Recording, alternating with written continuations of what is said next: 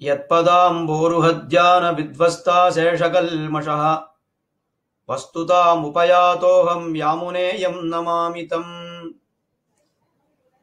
நம்முடைய ஸ்ரீ வைஷ்ணவ சம்பிரதாயத்துக்கு எம்பெருமானார் தரிசனம் என்று பெயர் நம்முடைய சம்பிரதாயத்துக்குள்ள அனைத்து பெருமைகளுக்கும் எம்பெருமானாரே காரணம் என்று நாம் எம்பெருமானாரை மையப்படுத்தித்தான் இந்த குரு பரம்பரை விளங்குவதையும் பார்க்கிறோம்.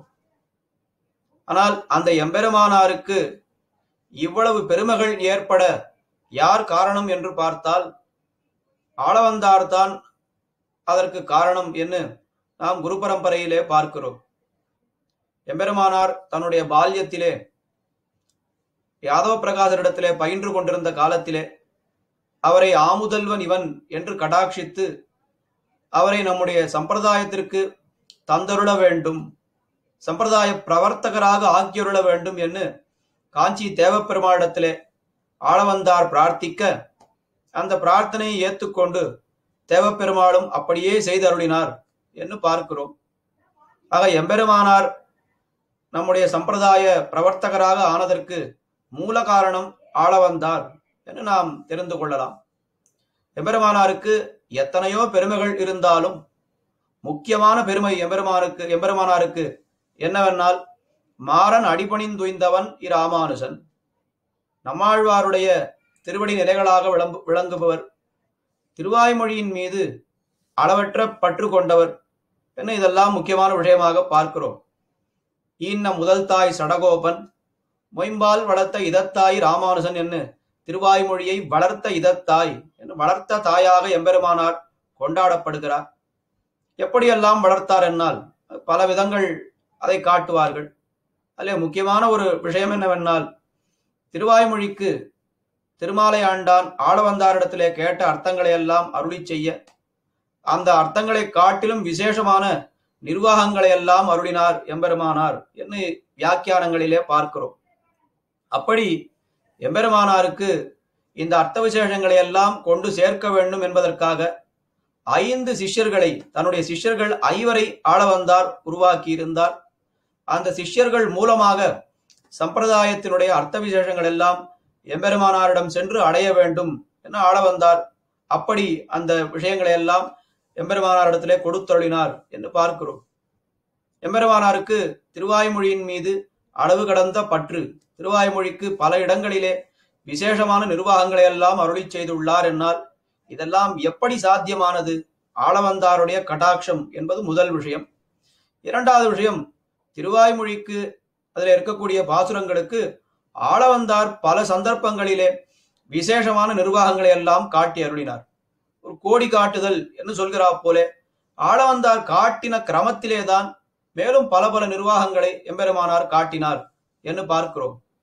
ஆளவந்தார் பல இடங்களிலே திருவாய்மொழிக்கு உயர்ந்த அர்த்தங்களை நிர்வாகங்களை காட்டியிருக்கிறார் என்றாலும் அதிலே ஓரிரண்டு அர்த்தங்களை இந்த சமயத்திலே நாம் அனுபவிப்போம். திருவாய்மொழி ஆறாம்பத்திலே இருக்கக்கூடிய ஏழாவது திருவாய்மொழி உண்ணும் சோறும் பருகு நீர் என்று தொடங்கக்கூடிய திருவாய்மொழி தாய்ப்பாசுரமாக அமைந்திருக்கக்கூடிய திருவாய்மொழி. அதாவது பராங்குச நாயகியனுடைய தாயார் சொல்லும் விதமாக அமைந்திருக்கக்கூடிய ஒரு திருவாய்மொழி. இந்த திருவாய்மொழிக்கு ஒரு இதே போல நிகரான ஒரு திருமொழியும் பார்க்கிறோம். திருமங்கி ஆழ்வார் அருளி செய்த பெரிய திருமொழியிலே. மாறன் பணித்த தமிழ்மறைக்கு ஆரங்கம் கூற அவதரித்தவர் அல்லவா திருமங்கை ஆழ்வார்? இதே போல உண்ணும் சோறுலே என்ன விஷயங்களை காட்டப்படுகிறதோ அதே போல் திருமொழியிலே கல்வன் கொல் யானறியேன் கரியான் ஒரு காளை வந்து என்கிற ஒரு திருமொழியிலே இதே தாய்ப்பாசுரமாக அமைந்திருக்கக்கூடிய திருமொழி அது.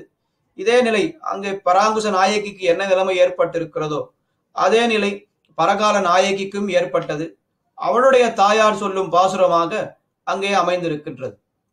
இந்த சமயத்திலே ஆளவந்தாருடைய கோஷ்டியிலே சிலர் ஒரு சந்தேகத்தை எழுப்பினார்களாம். என்ன சந்தேகம் என்னால்?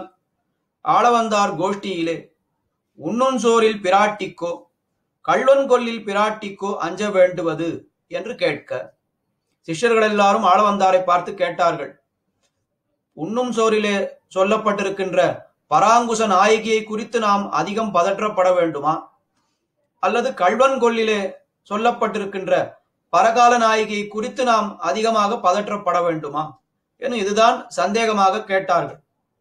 ஆனால் அங்கு இருந்த சில முதலிகள் சில ஆச்சாரியர்கள் என்ன சொன்னார்கள் என்னால் இருவராய் போனவர்களுக்கு வைரறிய வேணுமோ? தனி வழியே போனவடுக்கன்றோ வைரறிய வேண்டுவது என்று இருந்த முதலிகள் சொல்ல சில ஆச்சாரியர்கள் என்ன சொன்னார்கள் என்னால் கள்வன்கொல் யானறியேன்?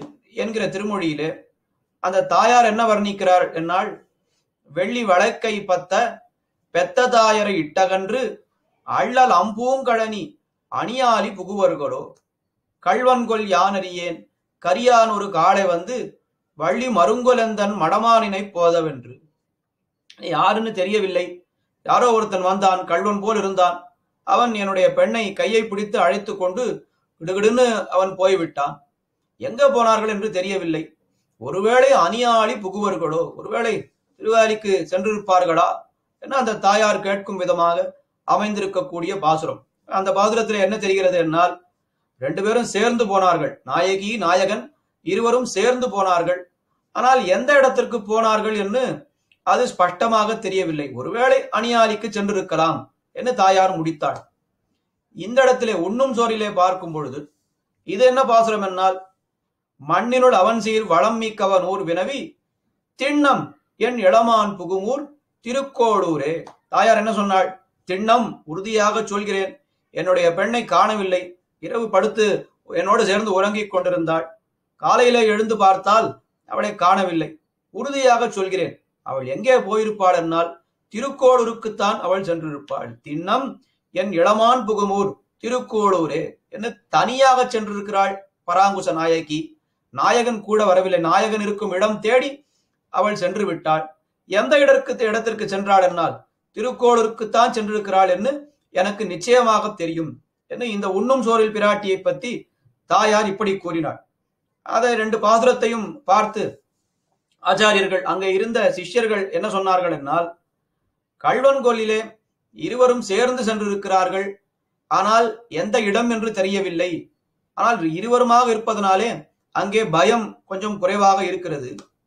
ஆனால் உண்ணும் சோரில் பிராட்டி அவள் தனியாக சென்றிருக்கிறாள். திருக்கோளூருக்கு போய் சேர்ந்தாளா இல்லையா என்று நமக்கு தெரியாது. திண்ணம் அவர் திருக்கோளூருக்குத்தான் புறப்பட்டிருக்கிறாள் என்று தாயார் சொன்னாலும் போற வழியிலே ஆபத்துக்கள் நிறைய இருந்திருக்கும். அதனால் அவளுக்கு தான் நாம் அதிகமாக பதற்றப்பட வேண்டும் என அங்கே இருந்த முதலிகள் அவர்கள் எல்லாரும் சொன்னார்கள். ஆனால் ஆள வந்தார். அந்த சமயத்திலே என்ன பதில் சொன்னார் என்னால் அவர்கள் சொன்னதை அப்படியே மாற்றி சொன்னார். இல்லை நீங்கள் சொல்வது தவறு. நாம் அதிகமாக அஞ்ச வேண்டுவது யாருக்கு என்றால் உண்ணும் சோறு பிராட்டியை காட்டிலும் கள்வன்கொள் பிராட்டிக்குத்தான் அதிகமாக அஞ்ச வேண்டும். என்ன ஆளவந்தார் என்ன அருளி செய்தார்? அங்க நன்று காணுங்கோள். இருவராய் போனவர்கள் ஆகையாலே இருவர்க்கும் அஞ்ச வேணும். தனியே போனவளுக்கு ஒரு பயம் உண்டோ என்று அருளி செய்தார். ஆழ்வு ஆளவந்தார் அப்படியே அதை மாற்றி சொல்லிவிட்டார். இவர்கள் கல்வன்கொள் பிராட்டிக்குத்தான் அஞ்ச வேண்டாம். உண்ணும் சோரில் பிராட்டிக்குத்தான் அஞ்ச வேண்டும் என்று சிஷ்யர்கள் கூறினார்கள். ஆனால் ஆளவந்தார் கல்வன்கொள் பிராட்டிக்குத்தான் அதிகமாக அஞ்ச வேண்டும் என்று சொன்னார். ஏன் என்று கேட்டால் பரகால நாயகி அதாவது திருமங்கை ஆழ்வார் அந்த சமயத்திலே பரகால நாயகியாக இருக்கிறார்.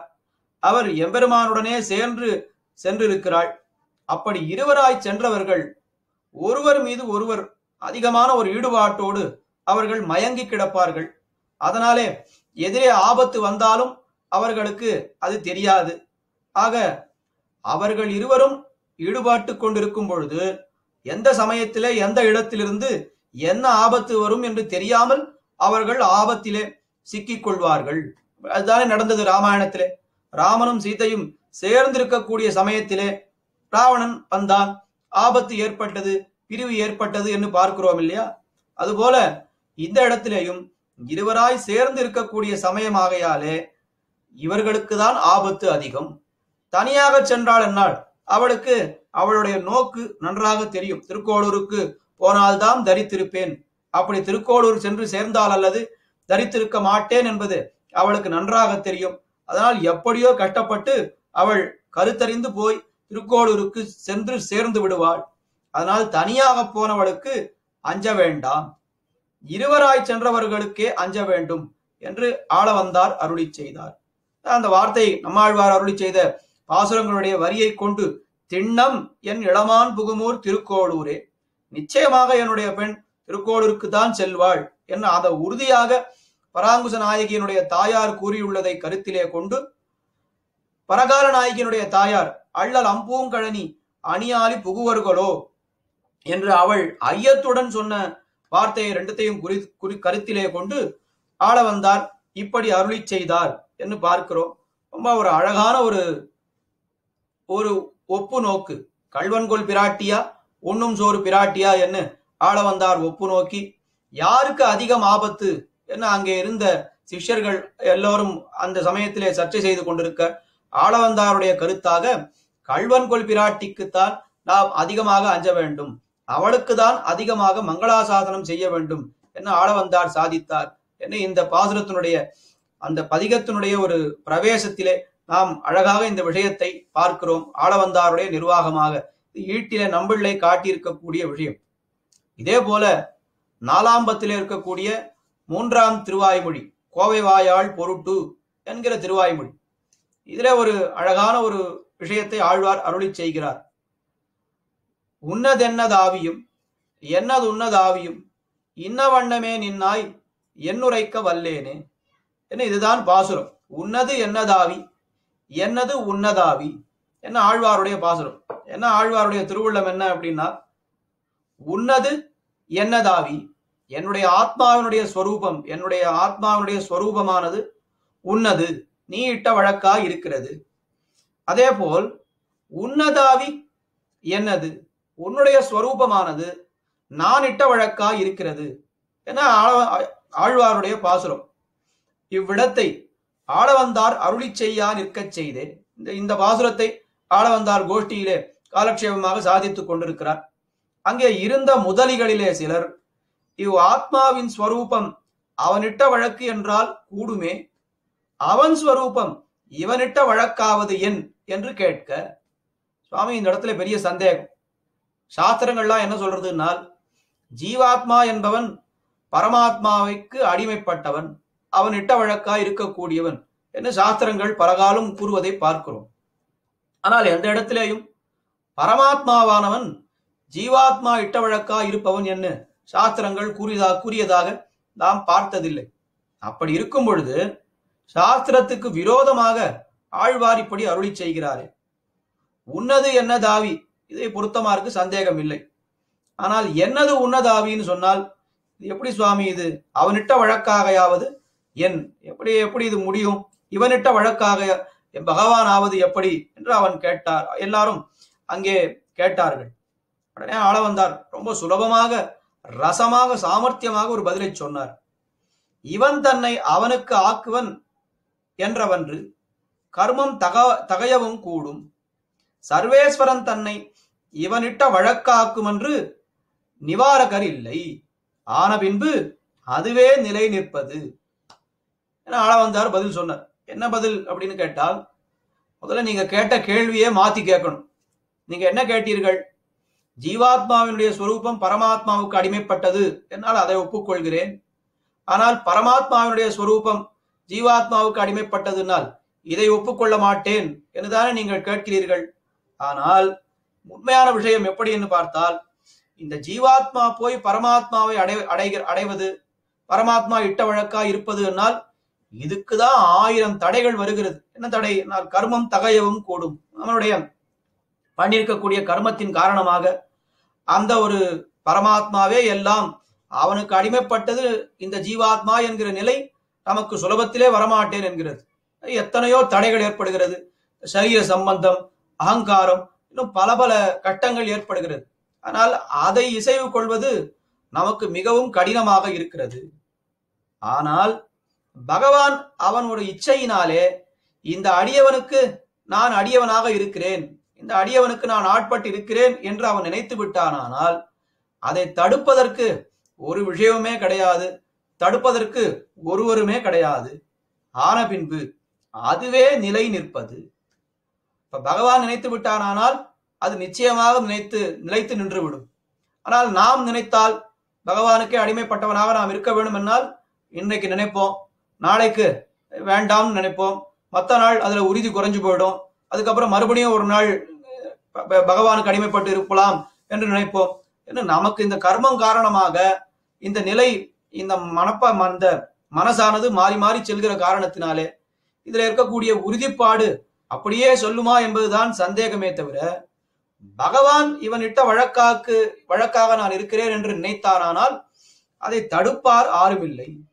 இவன் ஸ்வரூபம் அவனிட்ட வழக்காக கூடுமோ என்று இதிலே காணும் சந்தேகிக்க வேண்டுவது. நீங்க கேட்ட கேள்வியே மாத்தி கேட்கணும். அவன் ஸ்வரூபம் இவனிட்ட வழக்காக ஆகுமோ என்று நீங்கள் கேட்டீர்கள். அப்படி கேட்கவே கூடாது. இவன் ஸ்வரூபம் அவனிட்ட வழக்காக கூடுமோ? ஜீவாத்மாவினுடைய ஸ்வரூபம் அவனிட்ட வழக்காக மாறுவதுதான் ரொம்ப கடினமே தவிர பகவான் அவன் ஒரு ஜீவாத்மாவுக்கு அவன் அடிமைப்பட்டிருப்பதோ இல்ல அவனை அதற்காக ஆக்கிக் கொள்வதோ அதிலே சந்தேகமே வ- வேண்டாம் உங்களுக்கு என்று ரொம்ப அழகாக அவர்கள் கேட்ட கேள்வியை கொண்டே சாமர்த்தியமாக ஆள வந்தார் பதில் அருளி செய்தார் என்று பார்க்கிறோம். இது நாலாம்பத்திலே இருக்கக்கூடிய மூன்றாம் திருவாய்மொழி. கோவை வாயால் என்கிற திருவாய்மொழியிலே இருக்கக்கூடிய ஒரு பாசுரத்தினுடைய ஆளவந்தாருடைய நிர்வாகம் என்று பார்க்கிறோம். இதே போல பல பல சுவையான நிர்வாகங்களை எல்லாம் ஆளவந்தார் அருளி செய்திருக்கிறார். மேலும் ஒரு நிர்வாகம். ஒன்பதாம்பத்தில் இருக்கக்கூடிய பத்தாவது திருவாய்மொழி. மாலை நன்னி என்கிற திருவாய்மொழி திருக்கண்ணபுரத்து எம்பெருமான் விஷயமான திருவாய்மொழி. அதிலே ஒரு பாசுரம் ஆழ்வார் என்ன சாதிக்கிறார் என்னால் திருக்கண்ணபுரத்து அண்டவாணன் அமரர் பெருமானையே. இது அந்த பதிகத்தில் இருக்கக்கூடிய வண்டுபாடும் பொழில் சூழ் திருக்கண்ணபுர தண்டவாணன் அமரர் பெருமானையே என்ற இந்த பாசுரம். இதுல என்ன சொன்னார் என்னால் ஆளவந்தாருடைய நிர்வாகமாக இதுக்கு ஆளவந்தார் அருளி செய்யும்படி. பிரதிமாசு அப்பிரபுத்தானாம். அம்மேட்டிலும் ஏறிப்பாயான் என்றால் தேசிகருக்கு சொல்ல வேணுமோ? என இதுதான் ஆளவந்தார் நிர்வாகம். என்ன ஒரு சந்தேகம் அந்த இடத்துல ஏற்பட்டது என்னால்? ஒரு பிரமாணம் இருக்கிறது. அக்னௌ திஷ்டதி விப்ரானாம். ஹிருதி திஷ்டதி யோகினாம். பிரதிமாஸ்வ பிரபுத்தானாம். சர்வத்திர சமதரிசினாம். என்று ஒரு பிரமாணம்? அக்னௌ திஷ்டதி விப்ராணாம். என்னால் அந்தணர்கள் பகவானை எந்த இடத்திலே கொண்டு ஆராதிக்கிறார்கள்? வேள்வியாக கொண்டு பகவானை வேள்வியின் ரூபத்திலே ஆராதிக்கிறார்கள். அக்னௌ திஷ்டதி விப்ரானா ஹிருதி திஷ்டதி யோகினா யோகிகள் அவர்கள் எப்படி பகவானை எந்த இடத்திலே கொண்டு ஆராதிக்கிறார்கள் என்னால் அவர்களுடைய ஹிருதயத்திலே யோகிகளுடைய உள்ளத்துக்கொண்டு முனிவர்களும் யோகிகளும் என்று பார்க்கிறோமே. யோகிகளுக்கு தங்களுடைய உள்ளத்திலேயே பகவான் இருப்பதை அழகாக அவர்கள் உணர்ந்து கொண்டு அங்கேயே அனுபவிக்கிறார்கள். பிரதிமாசு அப்ரபுத்தானா? பிரதிமா என்னால் அர்ச்சாவதாரம். அந்த அர்ச்சாவதார பிம்பங்களிலே அஞ்ஞானிகள் பகவானை அங்கே ஆராதிக்கிறார்கள். ஏன்னா அந்த இடத்துல அவர்களுக்கு காட்சி கொடுக்கிறான். அதற்கு மேலே சர்வத்திர சமதரிசினான் சமதரிசி என்னால் ஞானிகள். பகவான் கூட கீதாச்சாரியன் கீதையிலே சொல்லும் பொழுது சுனிச்சைவ ஸ்வபாகேச்ச பண்டிதாக சமதரிசினாக வித்யா வினய சம்பன்னே பிராமணே கவிஹஸ்தினி. சுனிச்சைவ ஸ்வபாகேச்ச பண்டிதாக சமதரிசினாக என்ன சமதரிசிகளான ஞானிகள் அவர்கள் பகவானை எங்கே பார்க்கிறார்கள் என்றால் எல்லா இடத்திலேயும் பார்க்கிறார்கள். அது ஒரு யாராக இருந்தாலும் எல்லா இடத்திலேயும் அவர்களுக்கு பகவான் தான் தெரிகிறான். என்ன அந்த பிரமாணத்தை கொண்டு இப்படி ஒரு பிரமாணத்தை ஆள வந்தார் அருளி செய்கிறார். இதிலே முக்கியமான விஷயம் என்னவென்றால் அர்ச்சாவதாரமாக எழுந்தருளியுள்ள நிலை ஞானமற்றவர்களுக்கு என்பது இந்த பிரமாணம் கூறுகிறது. ஆனால் ஆழ்வார் இங்கே என்ன சாதிக்கிறார் என்னால் திருக்கண்ணபுரத்து அண்டவாணன் அமரர் பெருமானையே. திருக்கண்ணபுரத்திலே எழுந்தருள் இருப்பவன் அவன் எப்படி இருக்கிறான்? உலகங்களுக்கெல்லாம் தலைவனாய் அண்டவானன் நித்தியசூரிகளுக்கு நாதனாக இருக்கிறான் அமரர் பெருமானையே என்று ஆழ்வார் அருளி செய்துள்ளார். எம்பெருமானுடைய எளிமை முதலிய கல்யாண குணங்கள். இதெல்லாம் எப்படி அர்ச்சாவதாரத்திலே இந்த எளிமை முதலான சௌலபியம் முதலான கல்யாண குணங்கள் இது நம்மை போன்ற அஜானிகள் அனுபவிப்பதற்காக ஏற்பட்டதன்றோ. ஆனா இதை போய் நித்தியசூரிகள் வந்து அனுபவிக்கிறார்களே என இந்த பிரமாணத்திற்கு கொஞ்சம் மாற்றி இருக்கிறது ஆழ்வாருடைய பாசுரம். என்ன அந்த இடத்துல சந்தேகம் எழ அதற்கு ஆள வந்தார். என்ன ஒரு பதில் சொன்னார்? என்ன நிர்வாகி என்ன எப்படி நிர்வகித்தருளினார்? என்னால் ஞானமே இல்லாதவர்களுக்கும் கூட அர்ச்சாவதாரத்தை அனுபவிக்க முடியும் என்றால் ஞானத்தில் மிக்கவர்கள் ஞானத்திலே குறையே இல்லாத இருக்கக்கூடிய நித்தியசூரிகள் அவன் அவர்கள் அனுபவிக்க முடியும் என்பதை நாம் மறுபடியும் கூறத்தான் வேண்டுமோ? ஞானமற்றவர்களுக்கான மேட்டிலும் ஏறி பாய்கிறது பகவானுடைய இந்த அர்ச்சாவதாரத்தினுடைய பெருமை என்னால். அந்த பள்ளத்திலே ஞானம் இருக்கக்கூடிய இந்த பள்ளத்திலே வந்து பாயாதா என்ன? என்று ஆள வந்தார் கேட்டார். அதுதான் அந்த இந்த இடத்துல என்ன கேட்டார் ஆள வந்தார் என்னால் அம்மேட்டிலும் ஏறிப்பாயா என்றால் தேசிகருக்கு சொல்ல வேணுமோ? ஞானமற்றவர்களே இந்த அர்ச்சாவதாரத்தை நன்றாக அனுபவிக்கிறார்கள் என்னால் ஞானத்திலே நிறைந்தவர்களான நித்திய சூரிகள் அவர்கள் அனுபவிப்பார்கள் என்பதை நாம் சொல்லவும் வேண்டுமோ? என்ன ஆள வந்தார் அருளி செய்தார். அதிலேயும் விசேஷமாக பிரதிமாசு அப்பிரபுத்தானாம் என்ன அந்த இடத்திலே அபி என்ன ஒரு சப்தத்தை ஆள வந்தார் சேர்த்து சொல்லுவாராம். அப்படின்னால் அஜானிகளுக்கே இந்த அர்ச்சாவதாரம் பயன்படுகிறது என்னால் ஞானம் மிஞ்சி இருப்பவர்களான நித்தியசூரிகளுக்கு பயன்பட பயன்படாமல் போய்விடுமா? பயன்படும் என்பதை நாம் மறுபடியும் சொல்ல வேண்டுமா? என்ன ஆள வந்தாள் அருளி செய்யக்கூடிய நிர்வாகம் என்று இந்த பாசுரத்திலே காட்டினார். ஈட்டிலே நம்பிள்ளே லோகாச்சாரியர். ஆக இப்படி திருவாய்மொழிக்கு பல பல பாசுரங்களுக்கு பல பல விசேஷமான நிர்வாகங்களை ஆளவந்தார் அருளி செய்துள்ளார். அந்த ஆளவந்தார் அருளி செய்த நிர்வாகங்களை எல்லாம் எம்பெருமானார் திருமாலையாண்டான் மூலமாக பெற்றார். அப்படி ஆளவந்தார் கோடி காட்டின ஒரு சில விஷயத்தை கருத்திலே கொண்டு எம்பெருமானார் மேலும் பல பல திருவாய்மொழிக்கு பல பல நிர்வாகங்களை எல்லாம் அருளி செய்தார் என்று பார்க்கிறோம். ஆளவந்தாருக்கும் அதாவது நம்மாழ்வாருக்கும் எம்பெருமானாருக்கும் இருக்கக்கூடிய சம்பந்தம். மாறன் அடிபணிந்து உய்ந்தவன் என்று பார்க்கிறோம். அந்த சம்பந்தம் எம்பெருமானாருக்கு யார் மூலமாக கிடைத்தது என்னால்?